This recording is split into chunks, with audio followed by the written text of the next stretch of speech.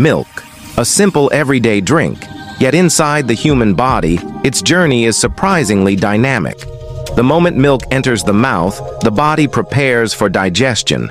As it travels into the stomach, strong muscular waves begin breaking it down, turning it into a nutrient-rich mixture. From the stomach, milk moves into the small intestine, the center of absorption. Here, millions of microscopic villi pull in calcium, protein, vitamins, and minerals. These nutrients then enter the bloodstream, glowing like tiny sparks of energy spreading throughout the body. Inside the brain, milk's nutrients support sharper thinking and smoother neural communication. In the muscles, amino acids help with strength, recovery, and endurance. Deep within the gut, beneficial bacteria grow stronger, creating a more balanced digestive environment. But milk doesn't affect everyone the same way.